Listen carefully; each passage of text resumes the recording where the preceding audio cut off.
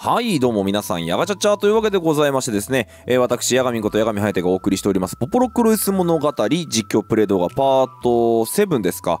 なんでございますが、まあ、えっ、と、前回、えっ、と、鉱山の町、ゴドリフっていうところで、えっ、と、まあまあ、なんていうんですか、いろいろと見たりとかしてきたんですけど、このゴドリフ自体は、あのイベントが起きるのもうちょっと後なんですね。なので、えっ、と、今回はですね、改めてなんでございますが、先に進んでいきたいなと思っております。えー、もともとね、えっ、と、占い師の話ですと、あの、カナリシアに向かえっていう話を言われてましたので、えーカナリシアに向かっていきたいなと思っているんですが、どっから行くんだろうね。正直ね、どっから行くんだろうね。全然覚えてないね。さあ、というわけで、まあ、おそらく看板がそれよ。ゴドリフがすぐそこか。ゴドリフじゃないんだよな。あれなのかな？ここの時点でマップもう違うのかな？ちょっと一回まずはあのゴドリフを探してきますのであの少々ゴドリフじゃねえよ。ゴドリフはもう知ってるよ。あのちょっと一回うろちょろして。でなおかつなんですけどこの後あのイベント的にですねピエトロの成長度数が測られるあのイベントに入っていくのでちょっとレベリングしつつですねえーっとちょっと迷子になりがちなり気味なのであのどこら辺が正しい道なのかっていうのを調べながら遊んでいきたいと思いますのでとりあえず、えーっとカナリシアに向かうところまでスキップしたいと思います。なんかあれだね。あの山下ってったらあーでもまだあれかゴドリフの音楽ではあるか。でもなんか明らかに下ったよみたいなあのー炭鉱っていうよりかはなんか山っぽいところに来た感じですね。ちょっと敵キャラの見栄えも随分変わってきてはいるけども特に怪力雲あやっべえ!えー、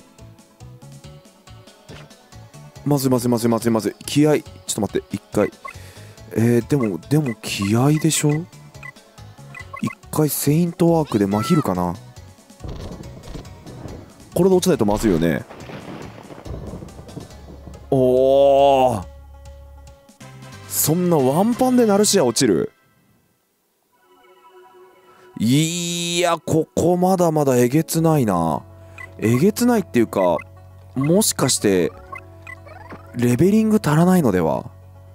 このゲームレベリングの時間長すぎなのでは？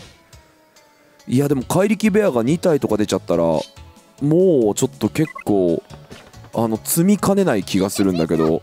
まあまあとりあえずあのカナリシリアまでもうちょっと距離がありそうなのでメガトンキック。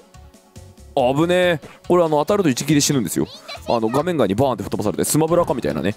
まあみたいなところなんですけどとりあえずまだ進めてはいる模様でございますのでちょっとこのままゆるゆると進めていきましょうかねというわけでまあここら辺とかはねあくまでフィールドマップだから長々とやっちゃってもね雑魚敵をスキップするだけだと思うのでそしたらまあまあ、えー、と次のマップに切り替わったらまた一回ちょっと,、えー、と帰っていきたいと思います。音楽変わりましたね。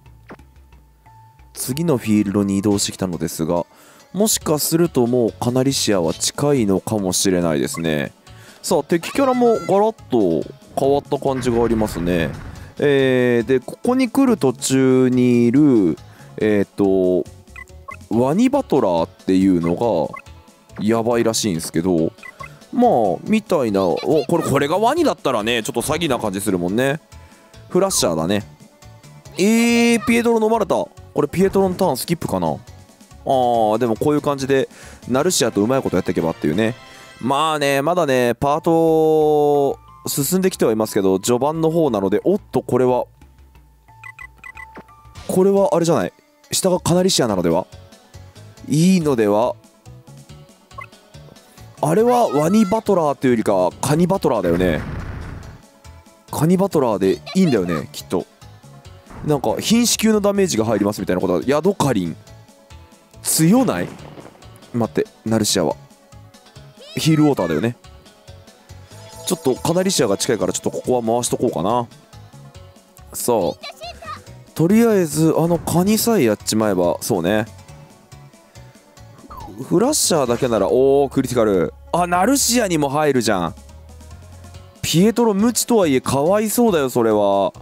おぶねえ。あやばいやばいやばいやばいやばいやばい。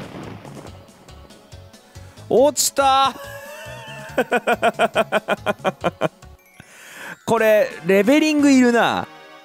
これレベリングしないと多分この後話にならんな。いやーマジですか。ちょっと全体的にこの後まあちょっと結論から言うとあのピエトロが一回離脱するんですよ。なんだけどちょっとその離脱した後ナルシアだけでやれる感じがあまりしてないのでちょっとレベリングが必要かな。まあまあ、えー、とそうしたらですね回復アイテムを買いつつえっ、とレベリングに勤しむっていう感じでちょっとお金をあまり無駄にはしないようにしつつですね回していこうかなというふうに思ってるところでございますがこの町の道具屋どこだよ？ここだって宿屋だろ？そもそもゴドリフに道具屋があるのかっていう不安もあるんだけどさ。ちょっと手前とか行ってみようか。お。おーありがてえ。とりあえず MP まあまあまあもう相変わらずよね。ドーピングできるようにしておきつつちょっとばかしえっ、ととりあえず今ゴドリフからあれなんですよね。あの竜のえっ、と柱に行けばさっきの町が何の場所だったのかが分かるんですよ。要はあのこれでかなり視野が出てればあのいいだけなのでただあれですね前回同様私あれのあの柱への行き方を忘れてますね。前もやった気がするんですよね。でこっちからこう行ってあれ？こっちからこうだと足らねえんだよな距離が。えー、あの柱もうほんと分かりづらい。あの入り組んだところに置きすぎじゃないかなあの柱。もうちょっとなんかシンプルなところに置いてもよかったんじゃないかなって俺は思うんだけどね。なんか誰か許さない人がいたのかな？なんかそういうところに置くのは良くないみたいな。なんかあのルールを持った人がいたのかはちょっとわからんのだけど。ここからぐるっと行ってちげえな。こっからいやこれこれスタートに戻ってんな。でもこっからこう行ってそうそうそうそう。よいしょ。モンスター村？あれ？モンスター村？モンスター村？え待って待って。あでもモンスター村の上がカナリシアだからどのみち目的地には近づいてたっていう認識でいいのかな？からやっぱりだけどレベリングしよう。で一回レベリングしてみんなのレベルを1 5 6ぐらいまで上げてからカナリシアに向かおう。よしというわけでございましてすごいでしょみんな。この動画見始めてあののほほんと見てくれてる人からしたらいいと思うけど進展ねえなと思ったらもうこの動画終わりだからね。あのー、気楽に楽しんでいこうね。というわけでございましてちょっとレベリングいってきます。はいえーとですね。まあ、ピエトロレベル16まで、ナルシアがもうちょっとで410で上がるんですが、まあ、上がろうが上がらないが、あのー、そろそろ離脱、あのイベントが発生してしまうってところだとどちらでもいいのかなっていうところまで持ってきました。えっ、ー、と、随分雑魚敵と戦う上では、あの、苦戦せずに戦えるようになってきたなというところなんでございますが、一個問題が、結局ここがモンスター村ってところで、この上側の方にかなり仕上があるはずなんですね。なので、この上側の方に道があるのかどうかにも寄ってきちゃうかなと思うんですが、ちょっと今軽めに迷子にはなってるはずなので、えー、とカナリシアの方に向けてですね、えー、とまた歩み出せないかというのをやっていこうかなと思っているところでございます。あの随分ねあのなんだ威力技を覚えてくれたりだとか MP の最大値が上がってくれたりっていうところがあるので非常にね安心して冒険を任せられるようになってきたんですがあのそもそもピエトロには物理で殴ってほしいなっていう気持ちがいっぱいあるのであの手動戦闘しなきゃいけねえなっていうところがね 多いかなと思ってるところなんでございますがいやこれモンスター村しかねえかな。何？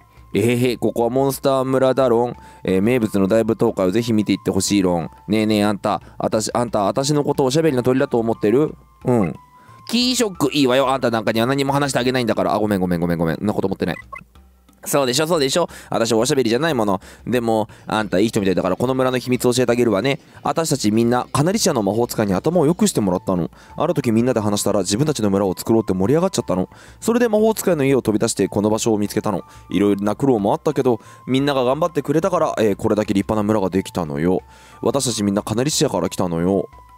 あれあんたも市場希望者？だったら反対側に回って俺の中俺の俺の仲間に声かけてよとか。なんか随分とあれですね。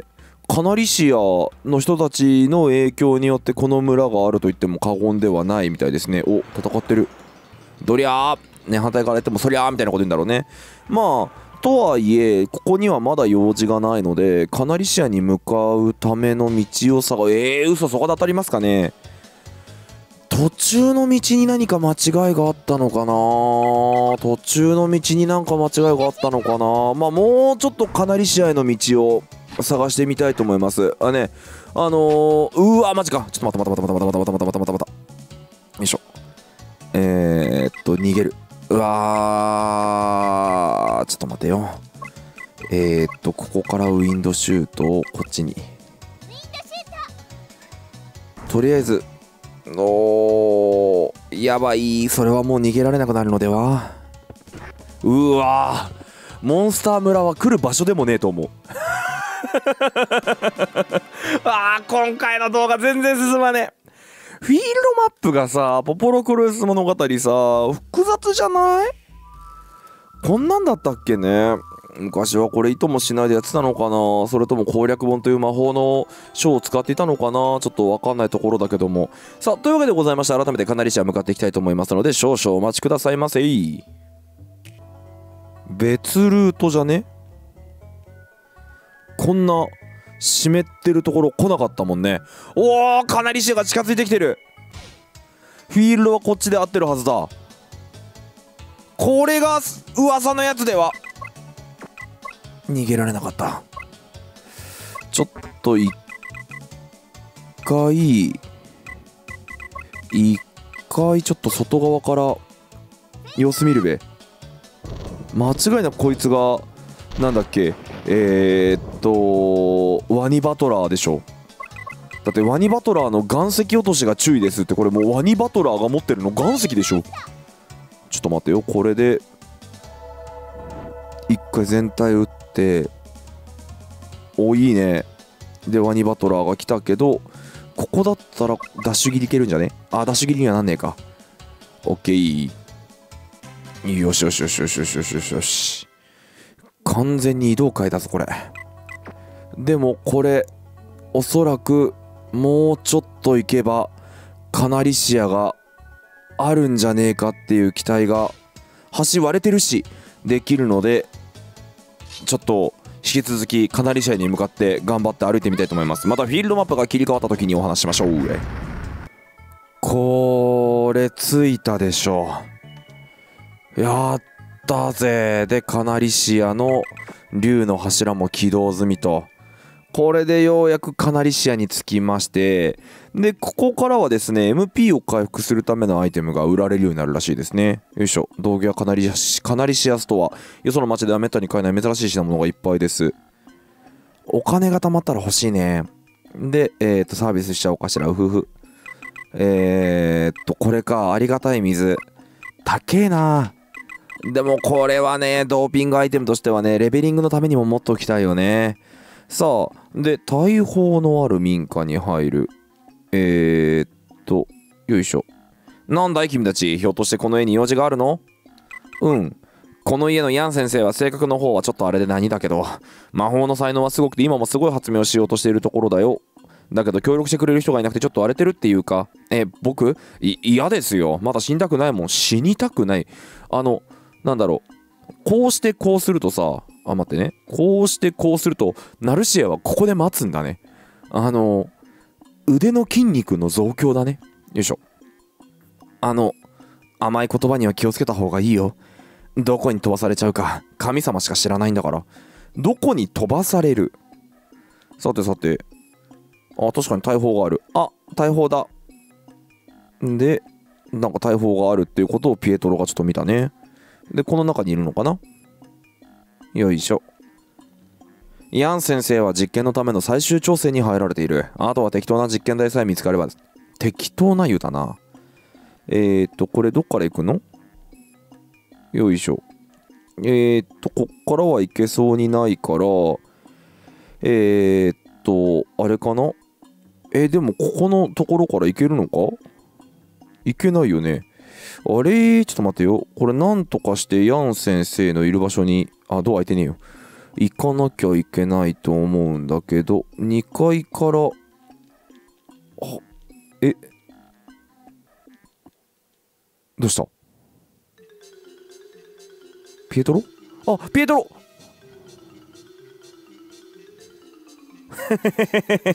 大丈夫？ピエトロ王子。何なの？チミはそんな真っ黒なんで簿記の研究室に入るなんて。ん？真っ黒？チミひょっとしてあの大砲の中に落っこちたのね。落ちたということはつまりつまり？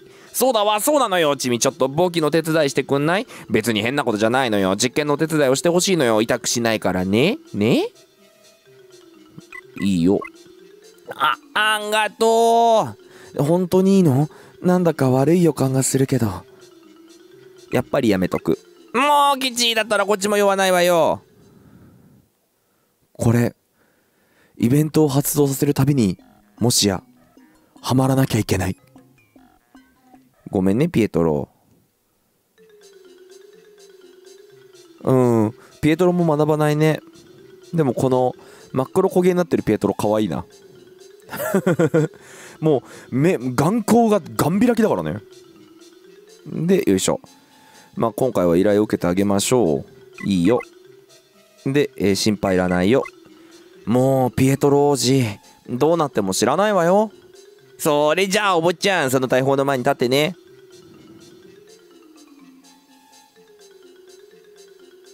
何をグズグズしてんのよこのクソガキえへん、特別に説明してあげましょうね。これはね、私の大発明、魔法の大砲よ。魔法の力で人間を打ち出してブリオニアに行くための道具なの。ところがね、サイズを少々間違えちゃって大人だと入れなくて実験もできずに困ってたのよ。だからすっごく助かったわ。あら、話が長くなりすぎね。みんな、もう準備を始めているわ。募金も急がなきゃ。これでパウロ国王にもたんまりご褒美をもらえるわ。ど、どうしよう。と、止めなきゃ。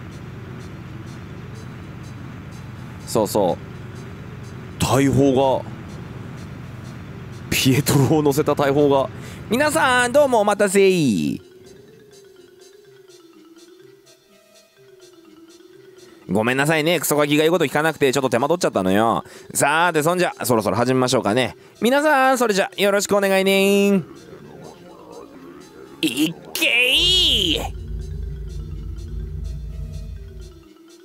完璧。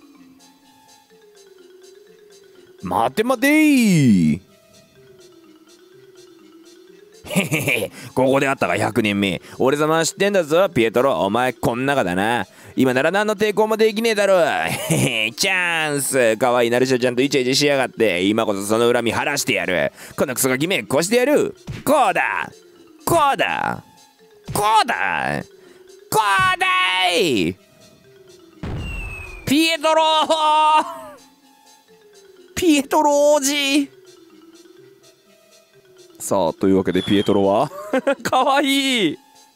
そのアニメーションかわいい。さあというところで5ドリフまでですね。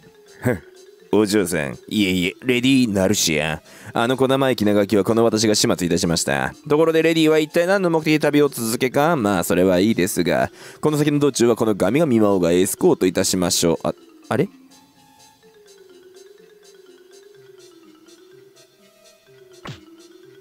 痛いよナルシアちゃん。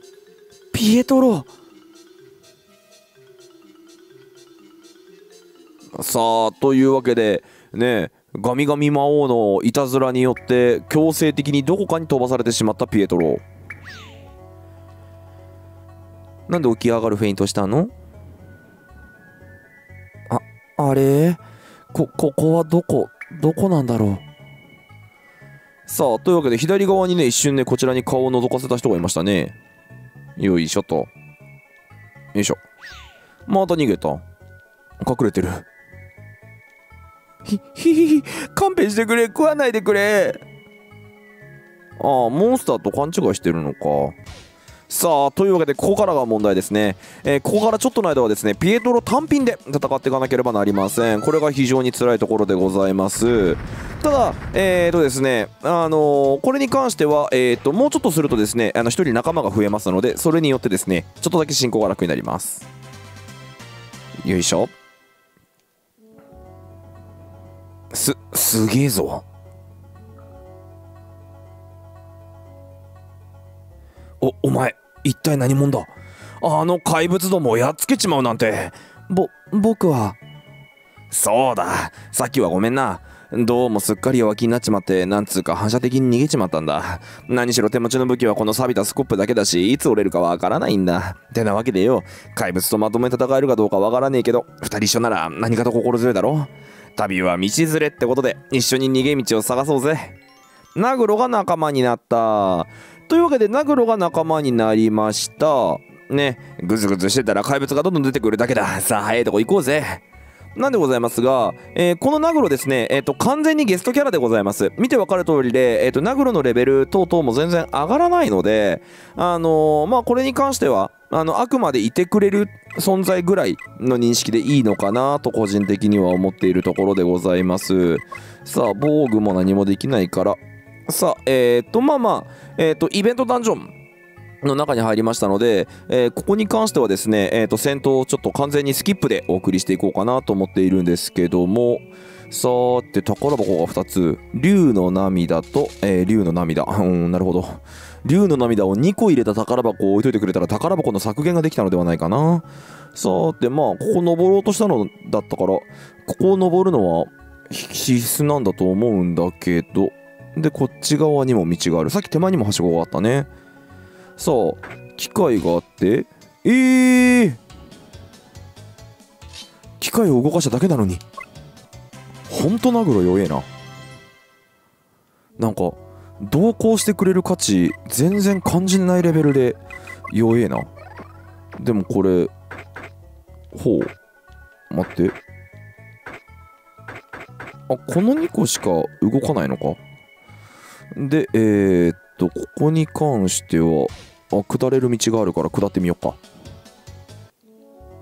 ナグロさん、ほんと、弱いっすね。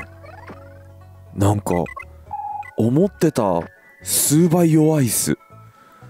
まあまあまあまあ、ここ側には宝箱かなんかあんじゃねえの？えー、え？あ、上つながってるだけだここの通路と同じだ。わんでえー、っとこっち側はあとはあれかこの左側の入り口か。んであ休めそうだね。休めて一泊できちゃう感じだね。さあ、というわけでございまして、えっ、ー、と、動画のお時間はちょうどいいところかなと思いますので、えー、今回はこの辺とさせていただきまして、また次回ですね、えっ、ー、と、こちらの、えっ、と、一度、えっ、と、ゴドリフ鉱山に戻ってきてしまったわけなんでございますが、このゴドリフ鉱山での物語の続き、一緒にね、見ていきたいなというふうに思ってる次第でございますので、よろしくお願いいたします。というわけでございまして、今回はこの辺で、ここまでのお相手私、ヤガミンことヤガミハイテがお送りいたしました。また次回動画にて、See you next time! Stay tuned! バイバイ